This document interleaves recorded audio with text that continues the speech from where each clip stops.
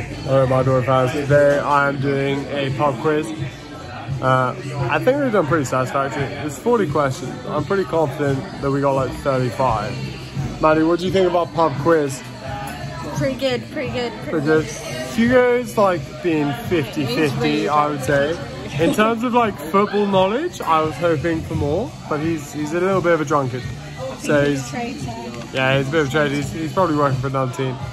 Uh, but Maddie's been pretty good. She's known all the pop culture stuff, which you know, obviously I respect. So thank you, Madeline. Uh, but I've, I've actually been surprisingly useful.